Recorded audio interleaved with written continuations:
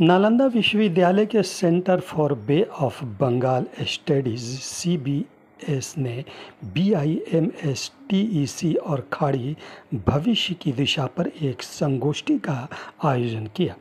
Professor Abhay Kumar Singh, माननीय कुलपति अंतरिम ने अतिथियों का स्वागत किया और क्षेत्रीय सहयोग और विकास के लिए बीआईएमएस टीईसी और खाड़ी के महत्व को उजागर किया।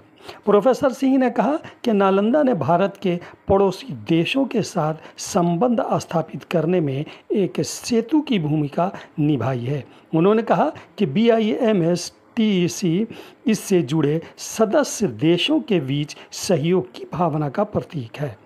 राजदूत जयदीप मजूमदार, सचिव ईस्ट विदेश मंत्रालय इस संगोष्ठी के मुख्य अतिथि थे। संगोष्ठी का उद्घाटन करते हुए राजदूत मजूमदार ने कहा कि नालंदा वैश्विक परिदेश पर एक ऐसा शिक्षा केंद्र है जहाँ उनके राष्ट्र के विद्यार्थी व शिक्षक मौजूद हैं। ये वसुदेव कुटुंबकम की भावना का प्रत्यक्ष उदाहरण है। इसलिए ये उचित ही है कि यह बंगाल की खाड़ी अध्ययन केंद्र नए नालंदा विश्वविद्यालय के परिसर में स्थित है। Uh, we got uh, a lot of material and I'll prepare a report and share with your office. Uh, पड़ोसी जो छः देश हैं भारत हम मिलके हमारा एक संस्था है बिम्स्टेक ये 1997 में सेटअप हुआ था। इसका फुल फॉर्म है Bay of Bengal initiative for multi sectoral technical and economic cooperation तो इसमें हम लोग हर एक तरह की कोऑपरेशन करते हैं। एजुकेशन फ़ील्ड में हो ट्रेड में हो साइंस एंड टेक्नोलॉजी कोऑपरेशन में हो रिसर्च इंस्टीट्यूशंस के बीच में है। तो इसमें इस इसका हम भारत सरकार इसका और भी डेवलप करना चाहते हैं इसको नया एनर्जी देना चाहते हैं। तो इसके लिए अभी दो दिन में दिल्ली में एक, ये सात देश के विदेश मंत्री जो है, वो आके डिस्कस करेंगे कि आगे क्या हमें करना है। तो भारत भी कोई कुछ प्रस्ताव देंगे कि किस किस एरिया में हमारी रुचि है डेवलपमेंट करने में और हम क्या इसमें कंट्रीब्यूट कर सकते हैं। साइंस में हो एग्रीकल्चर में हो ये टूरिज़्म में हो, इन सब एरिया में। और फिर चार सितंबर को एक समिट होने वाला है। समिट का मतलब है हेड ऑफ़ गवर्नमेंट सात कंट्री का हेड ऑफ़ गवर्नमेंट बैंकॉक में उसका समिट होएगा। तो उसमें हम अगले फ्यूचर के लिए 2030 के लिए क्या एक विज़न है हमारा सात देशों का क्या विज़न है आर्थिक, सामाजिक विकास के लिए उसका एक डॉक्यूमेंट रिलीज़ होगा तो जिसमें प्रधानमंत्री जी भी जाएँगे और बाकी छः देशों के भी प्रधानमंत्री जो सीमा तो हमारे सीमा के देश है। जैसे थाईलैंड को छोड़ के जिसके साथ हमारे एक लैंड सीमा नहीं है ज़मीन का सीमा नहीं है लेकिन जल का सीमा है बे ऑफ़ बंगाल में। बाकी सारे तो हमारे सीमा के ही है म्यांमार है भूटान है नेपाल है बांग्लादेश है और श्रीलंका भी हमारे निकट ही। है तो ये जो कोऑपरेशन है ये सारे सीमा के देश के साथ ही है। और इसके साथ ही हमारे कैसे हमारे जो देश अपने देश के सीमा के अंचल है उनको कैसे विकास कर सकते हैं इनके साथ मिलके।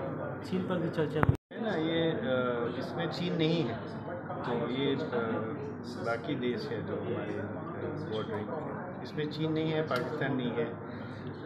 ये सात देश में नेपाल हर एक हर एक देश देश स्पेसिफिक डिस्कशन नहीं हुई हम मिलके क्या क्या कर सकते हैं इसके इसके ऊपर चर्चा। जैसे ट्रांसपोर्ट कम्युनिकेशन ट्रेड व्यापार वाणिज्य फिर एग्रीकल्चर में हम कैसे कोऑपरेट कर सकते हैं। नेपाल, जैसे मैं उदाहरण दे रहा हूँ, जैसे नेपाल का कोई कुछ कुछ चीज़ जो हम इंडिया में ला सकते हैं, हमारे इंडस्ट्री में भी वो लागू हो सकता है। या वर्कर्स इधर से उधर कैसे जा सकते हैं व्यापार वाणिज्य ये सब इसके बारे में डिस्कशन अभी हमारे इसके स्पेशलिस्ट जितने भी आप समझिए एक्सपर्ट्स हैं, उनको हम लोग वो सम्मिलित यहाँ करा चुके हैं। तो आपने देखा ही कि हमारे जो भारत विदेश मंत्रालय में जो सचिव हैं, जो खास तौर से सचिव पूर्वी क्षेत्र कहलाते हैं, यानी उनके अंडर में बिम्स्टेक उनका उनके मंत्रालय में आता है। तो सचिव महोदय, आप आए थे? उन्होंने अध्यक्षता कर रहे थे कार्यक्रम की। आपने देखा एम्बेसडर जयदीप मजूमदार जी, वही सचिव साहब हैं। उसके अतिरिक्त जो आपने देखा रथ नाग जी हैं ये एक प्रोफेसर भी रहे हैं। उसके पहले ये एशिया डेवलपमेंट बैंक के मैनेजिंग डायरेक्टर जनरल करीब पच्चीस वर्ष वहाँ से कर दिए तो सारा इस क्षेत्र का जो विकास होता है, जैसे वर्ल्ड बैंक ऐसे एशिया डेवलपमेंट बैंक तो इनके बहुत अनुभवी और एक बड़े भारी विचारक हमारे देश के रजत लाल जी, जिन्होंने आपको यहाँ संबोधित किया था। ये थे यहाँ पर।